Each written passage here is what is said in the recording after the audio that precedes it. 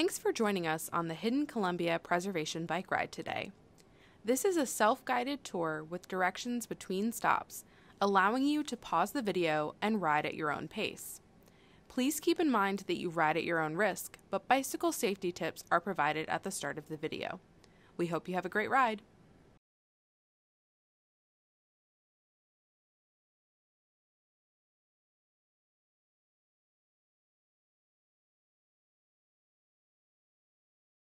My name is Megan McNish, and I'm a preservation planner with the City of Columbia Planning and Development Services. Thanks so much for joining us today on the Hidden History Columbia Bike Ride. This was a uh, bike ride we presented in uh, 2018 for Preservation Month, and since we can't meet in person right now, we've decided to record this. You can either play it back on your couch or do it on your own. Uh, we're going to be going over a couple of things before we get started. If you don't have a bike, why not try? We are starting our tour today at the corner of Laurel and Beacon Street.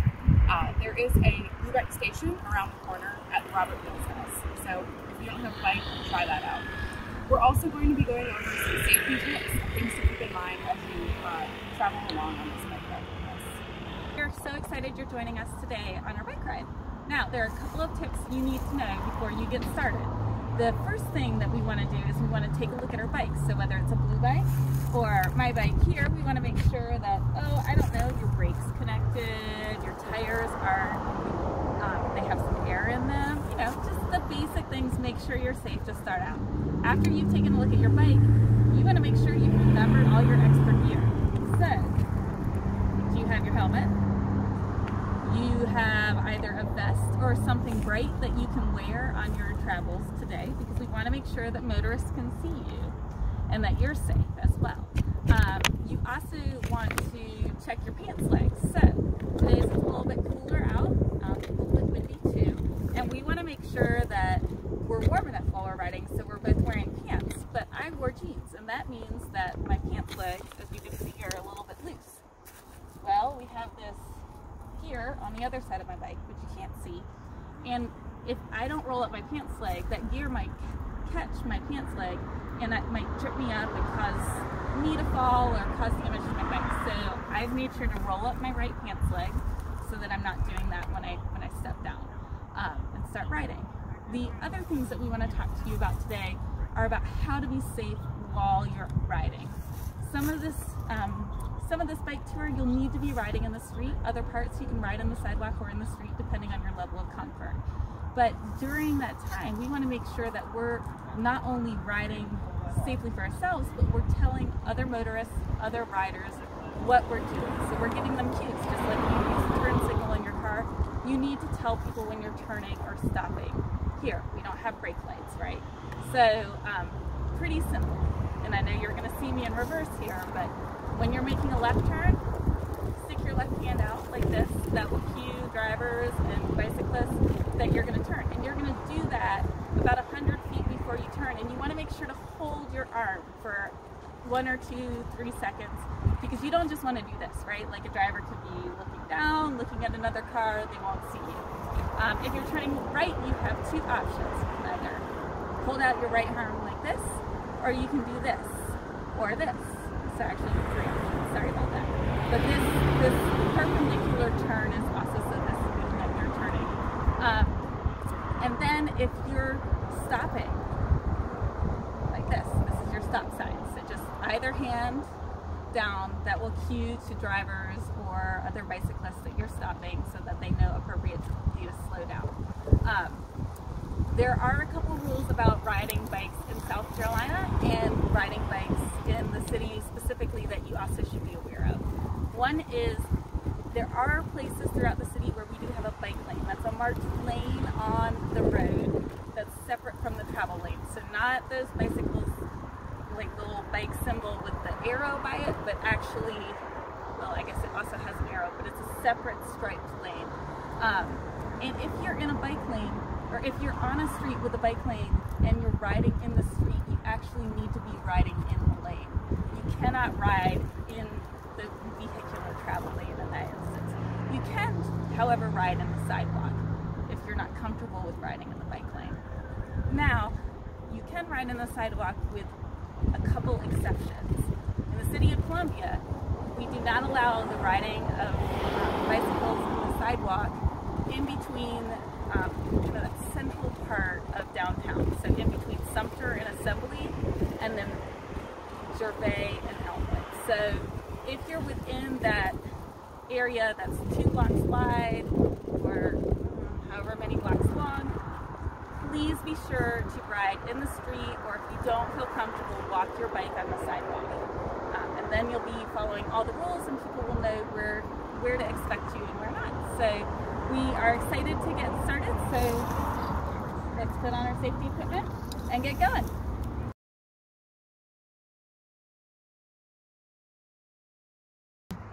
Also, don't forget your water. You might get thirsty out there. Between each stop, a map of the route to the next stop will appear, followed by written directions. You can pause the video at either point to help you navigate to the next location. Many people in Columbia know about the history of the Robert Mills House and the Hampton Preston Mansion being connected to academia and colleges, theology, and all of that. Um, but many people don't know this site here uh, is also connected and has long been connected to academia. Um, in 1828, this lot was donated um, by Governor John Taylor for quote unquote school purposes. The earliest school on this lot was the Columbia Male Academy, also known as the Thompson School. This building was described as a school amply suited for educational purposes that for years satisfied its patrons in every particular. However, in 1905, the school was demolished to make room for what would become known as the Taylor School, public school for boys and girls from grades 1 to 7. At the time, a petition by two dozen people asked that the school be preserved if possible, but it was decided to be impractical. Hereafter, it was known to us as only a pleasant memory for other days. The familiar structure, old and worn with honorable service, had disappeared, and a new one, strong and ready for the work to come, has taken its place in the forward march of progress. There was a lot of excitement about the new school that went in um, at this site, and the expansion of public education in Columbia in general. One article mentioned that the school buildings of Columbia have heretofore attracted attention chiefly because of their inferiority, but in the near future, they will attract wide attention because of their superiority. It went on to say, architects and the city superintendent of schools have given careful study to the arrangement of the building and everything has been arranged accordingly to the most approved modern school architecture. It will be one of the handsomest and most conveniently arranged school buildings in this section of the country. When the building was finally completed, it was described as, quote, a beautiful building, practical yet aesthetic, carefully designed and splendidly, splendidly situated. It is hard to see how it could be improved. Several articles went into great detail about the building ventilation, heating system, electrical bells, and even the blackboards used in the classrooms. In 1905, the school opened to rave reviews. Despite the great design of the school, the building was found to be inadequate by 1964. Ultimately, it was closed and torn down soon after. Part of the reason that the school was eventually torn down was that enrollment had greatly diminished and it needed a lot of work. Ultimately, it was decided that it was impossible to operate the building with efficiency. Today, the site still has connections to education that date back to 1829, even though you might not realize it. But we talked about earlier that the school was eventually demolished because of reduced enrollment. What do you think some of the reasons for that reduced enrollment might have been? Were there changes in Columbia's downtown at that point in time that may have caused these changes? Why don't you discuss that with the group that you're joining on this ride and see what answers you can come up with.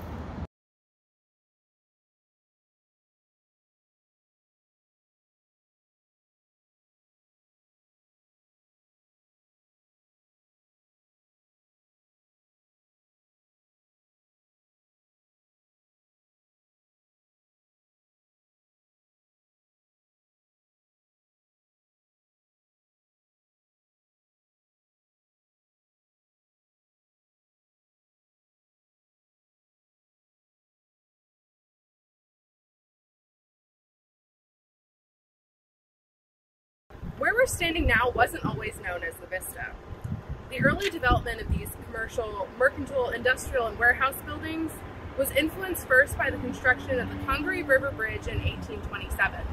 That connected Gervais Street as a western, major western route to other areas. The second most influential thing was the development of the railroad in this area, with the establishment of the South Carolina Railroad Depot in 1846, making Gervais Street a transportation hub for the city, which it still is today. Buildings here represent over a century of development, with construction dates ranging from the 1840s into the 1940s. Despite long periods of development spanning the rise and fall of many different popular architectural styles, the area retains a cohesive feel due to brick being the primary building material. Houses and small shops remained in the eastern part of the district into the turn of the century. But eventually, this area became more driven by retail, um, with brick buildings and cast iron storefronts. One example of a building from the turn of the century is 911 Gervais Street. Built in 1904, it operated as the Richland County Dispensary. This came to be with changes in liquor laws across the state that allowed for government entities to be the ones to manufacture and sell liquor. This building operated as the state dispensary until 1912. The railroad was really a big driver of development in this area, with booms in the early 20th century. Retail businesses, wholesale grocers, pharmacies, and other businesses flourished in this area, and buildings were built well into the 1930s, drawing people into this commercial district.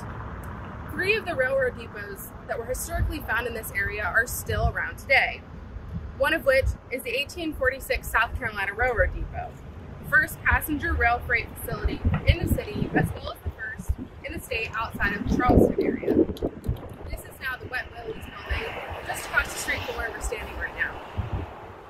Another is 902 Gervais Street, constructed in 1903 as the Seaboard Railroad Freight Depot, which is now the Longboard. The last is 903 Lincoln Street, constructed in 1904 as the Seaboard Airline Railroad Passenger Depot, which is now the Blue Marlin Restaurant. Interest in this area eventually waned in the mid 20th century.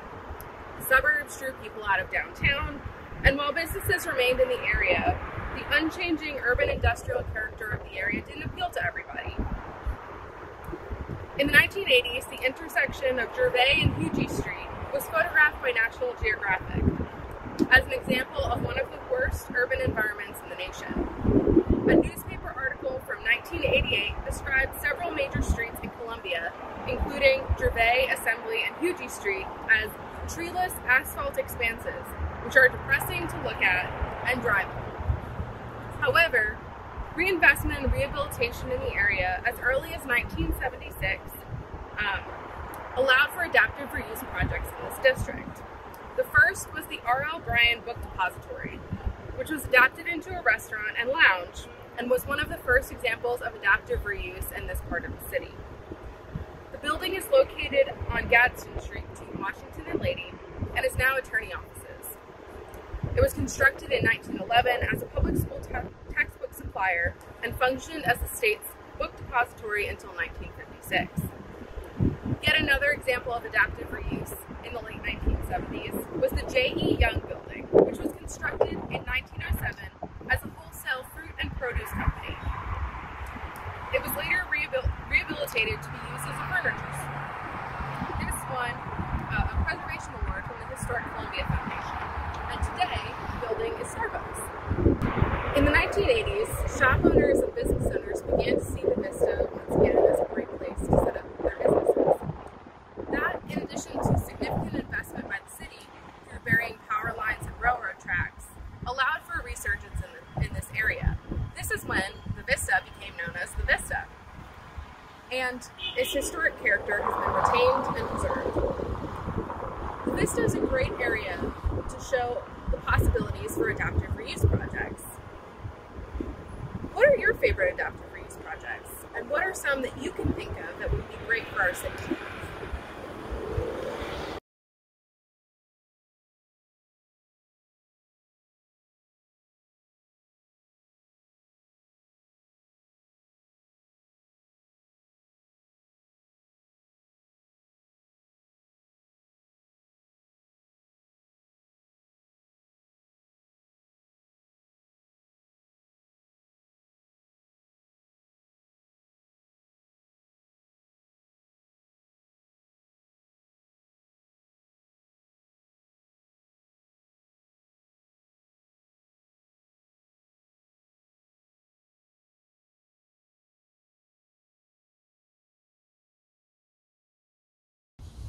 So now we're in Finlay Park.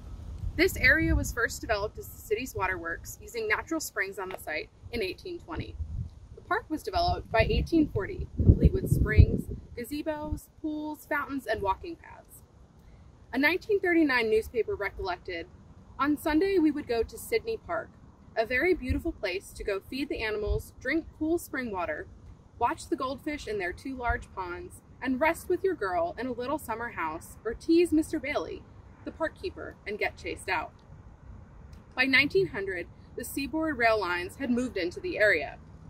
A 1955 article recollected there are still a few Columbians in circulation who remember the area now familiarly known as Seaboard Park, when it was a beautiful section of town called Sidney Park. It takes an old timer to have such a recollection. In 1899, the Seaboard Airline Railroad bought the land embracing Sidney Park from the city to be used as a location for their passenger and freight stations. It was the beginning of the end for one of the city's most beautiful spots. Doubtless, many a tear was shed as Sidney Park, long a mecca for old and young, fell victim to the march of progress. A 1913 article states that a commercial center to be built in Sidney Park, tracks now running promiscuously about the yards, will be relaid so as to serve conveniently a chain of large warehouses which will be built. Manufacturers or distributors doing business in Columbia on a large scale and having quantities, quantities of goods to be shipped in and out of the city will be granted long term leases, allowing space for 19 establishments. The commercial center took hold so that no part of the original parkland was evident. A 1955 article states that 1950 Columbians knew nothing of the lost pleasure ground which once occupied the desolation now called Seaboard Park. Though both the park, which was sacrificed to the railway, and Seaboard itself have fled from the bowl like valley below Assembly Street. In the 1950s, Seaboard abandoned this area and eventually the land came back to the city. First development back in this area started with the post office on Assembly Street, built in the late 1960s and designed by Lyles Bisset, Carlisle and Wolff, or LBC&W. In the 1970s, Mayor Finlay fought back development in the park area. Finlay's hope was to recapture the original charm of Sidney Park by remodeling the industrial buildings that had collected in this area and making it once again land for recreation. Although this vision took many years to realize and is still being developed in many ways, at the time, Mayor Finlay stated, I realize schemes get announced get announced over here and never come to pass, but this one will come to pass. So, once again, in this area, which was historically known as Sidney Park, we have Finlay Park. Um, and although the original uh, layout of the park is no longer evident, um, we have historic photographs and um, maps of the area that show us what it once looked like. Did you know that Sidney Park was once here?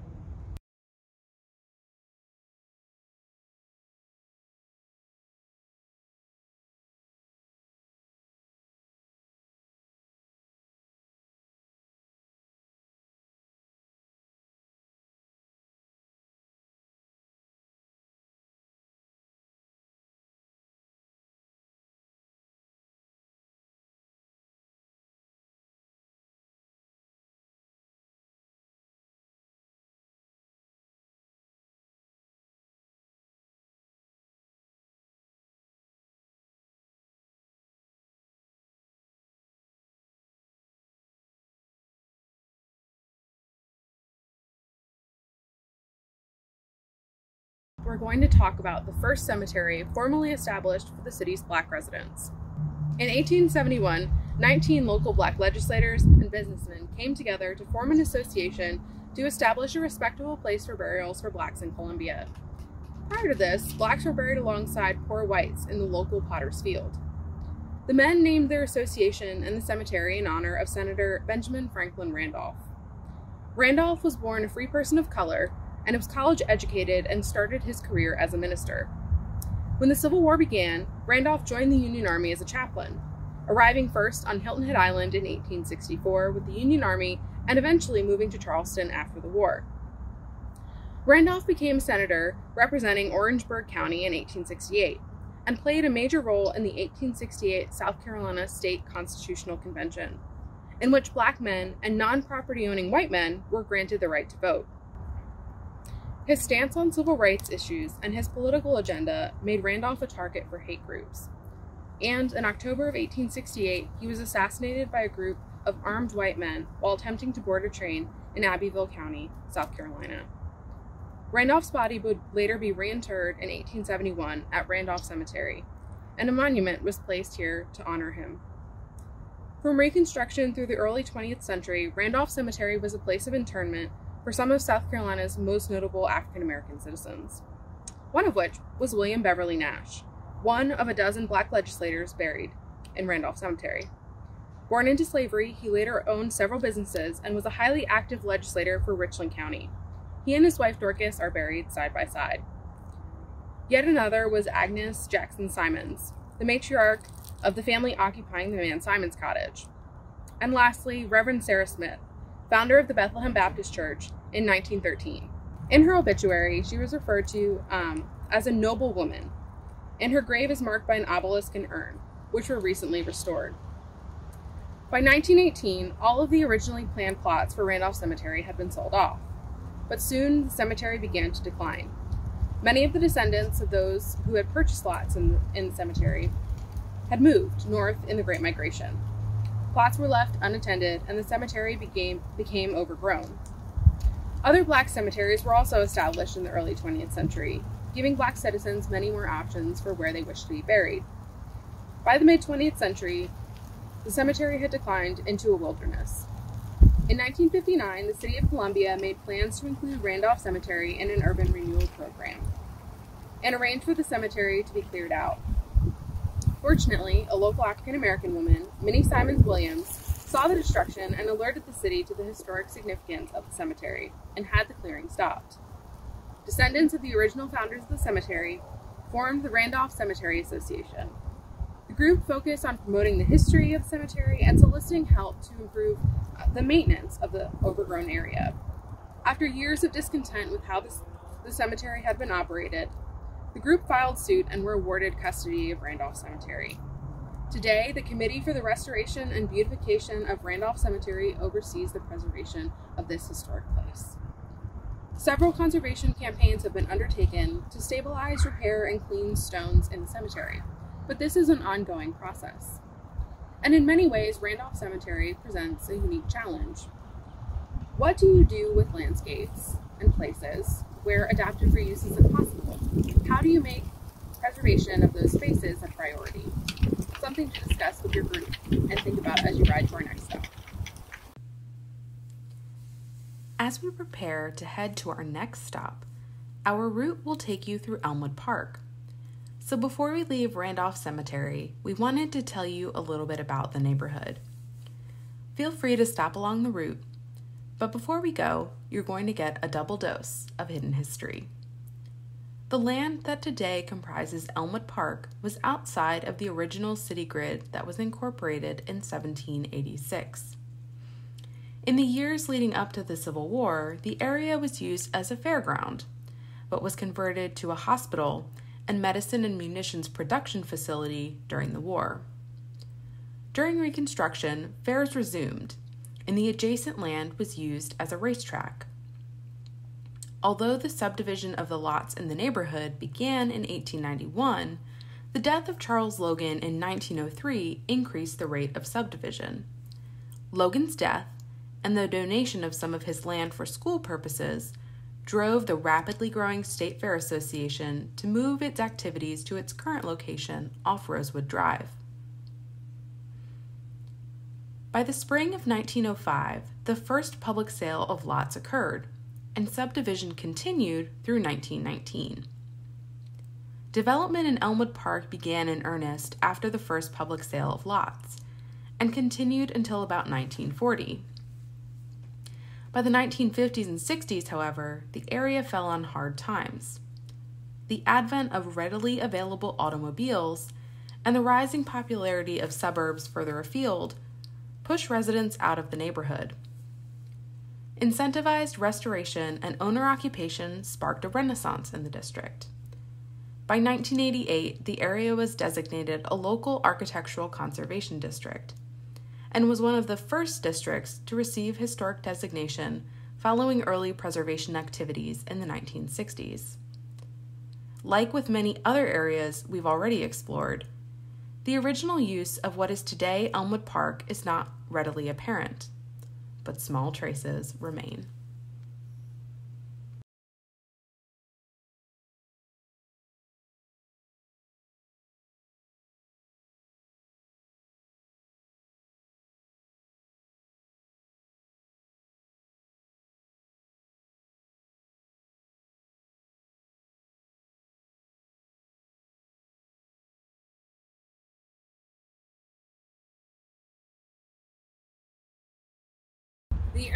We're standing now was part of the original plan for Columbia. It was originally a residential area, and it was home to many of Columbia's antebellum uh, aristocracy, if you will. Um, a newspaper article at the time said it was a complex of fine mansions and attractive homes that was the center of the antebellum aristocracy. The area also became home to a military academy and armory. In 1842, the Arsenal Academy opened its doors to train South Carolinians for military service. Ten years later, in 1852, the Palmetto Armory and Ironworks opened as the second largest foundry south of Harper's Ferry, Virginia, now West Virginia. Ten years later, or excuse me, a few years later, in 1855, the Arsenal Academy expanded, building quarters for their officers. The Arsenal Academy stayed open through the middle of the Civil War, ultimately closing in 1863. In 1865, with the arrival of the Union Army, much of the city of Columbia burned, about two thirds, including many of the homes in this area. The 1872 bird's eye map of Columbia illustrates what remained and what was reconstructed less than 10 years after the fire. During the early years of Reconstruction, there was very little building in this neighborhood. However, the officers' quarters for the Arsenal Academy that had been constructed in 1855 was ultimately converted into the governor's mansion in 1869. So the area surrounding the governor's mansion quickly became a popular area for residential growth, with smaller, simpler homes being built to accommodate the needs of residents.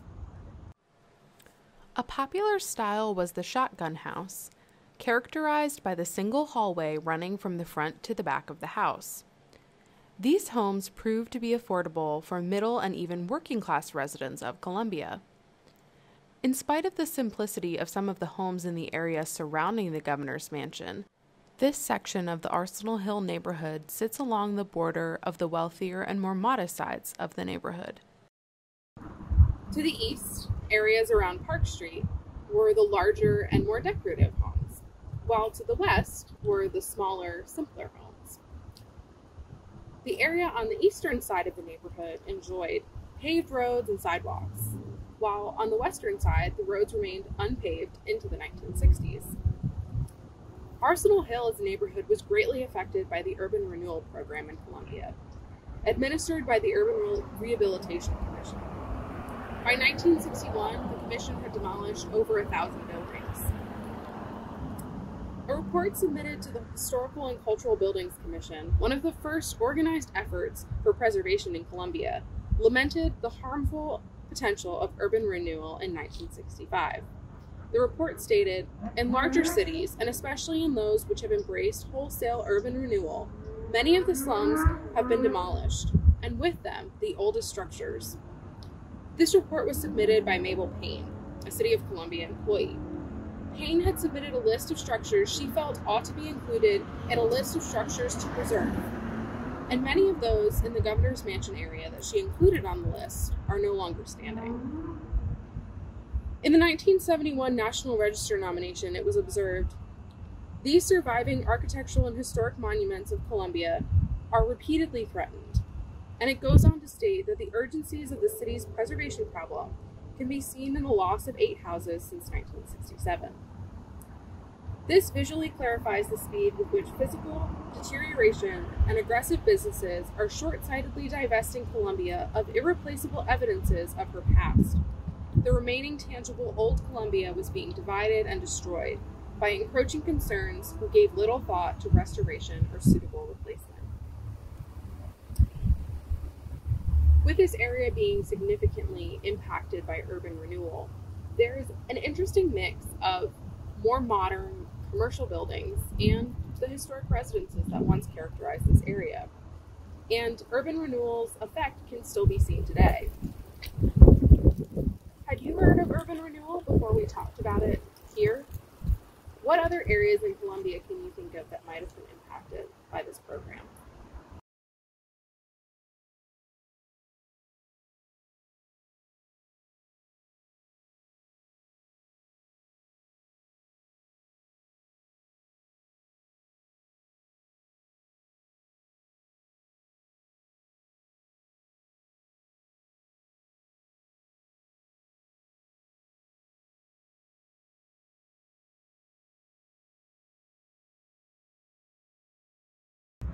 So now we're on the Bull Street campus.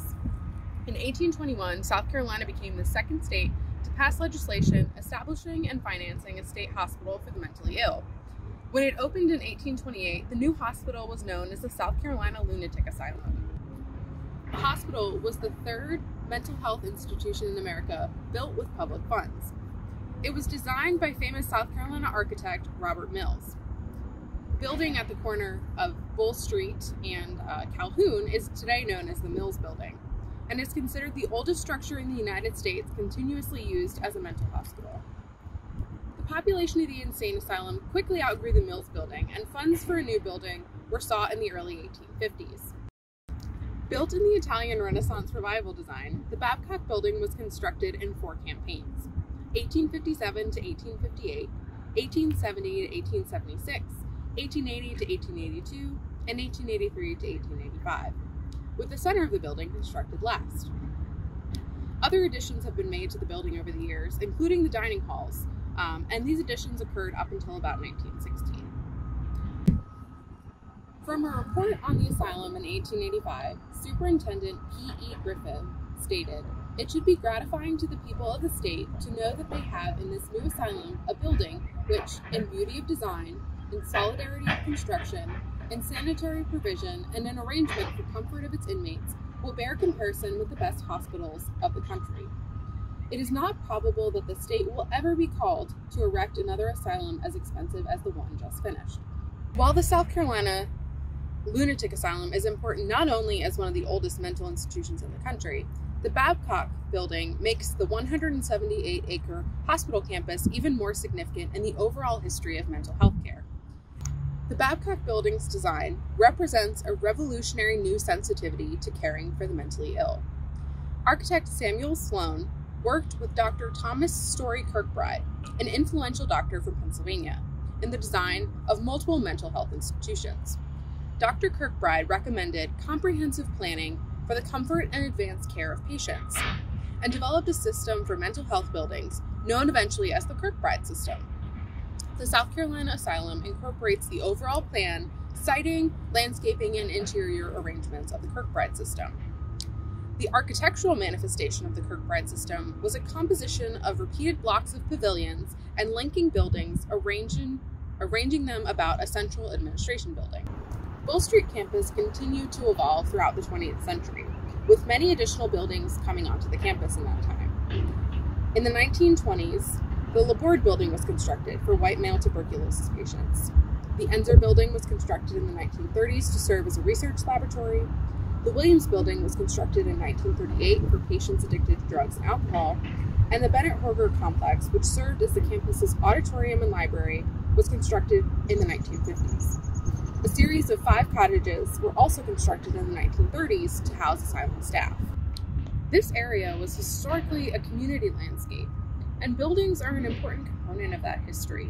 And in a place where context is so important to the development of this area, what difficulties arise with preservation? How much change can a landscape experience before the entire context is lost? But in a similar sense, adaptive reuse also comes into question here, as the uses of many of these buildings are no longer relevant today. So, how can we preserve these buildings and adaptively reuse them in a way that they can once again become important parts of our community?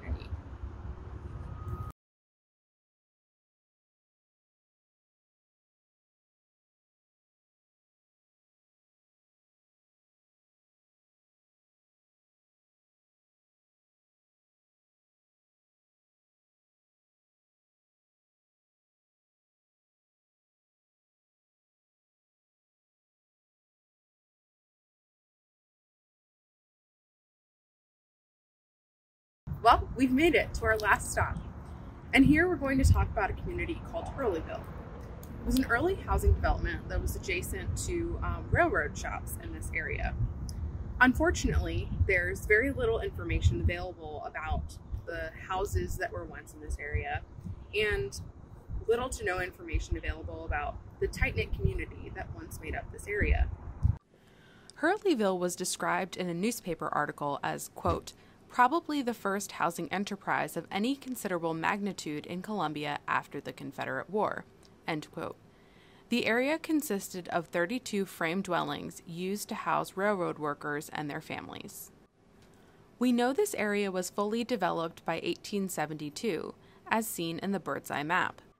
A contemporary source described Timothy Hurley as a quote, Yankee carpetbagger gangster who was uncouth and of common origin and made a small fortune lending money at high interest rates to railroad employees after the war, and purchased the land adjacent to the rail shops and rented out the small and expensive houses to railroad employees.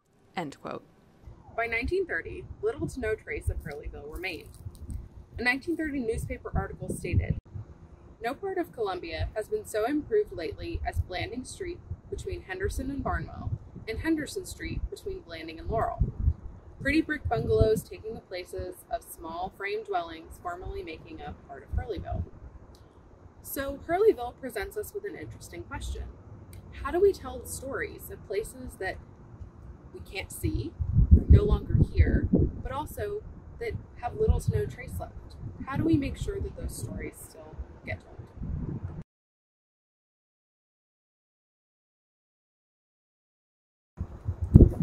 Thanks so much for joining us for Hidden Columbia, our bike tour today. We really appreciate you coming along with us. We hope you enjoyed it and stay tuned for our next ride. We hope you had as much fun as I did filming Megan around all these really great locations today. Um, if you're taking part of this in May, you may notice that there are leaves on the tree, but also that it's um, both National Bike Month and National Preservation Month. So if you're doing this during May, we hope you're celebrating not only this way, but in many other ways that we'll be um, trying to do both virtually and by providing you in-person opportunities that aren't actually with us. it's been an interesting year and a bit, and um, we have a lot to look forward to in the years ahead. So thank you so much, and happy Bike and Preservation Month. As always, we hope that you've signed up for our newsletter. You can do that by going to columbiacompass.org.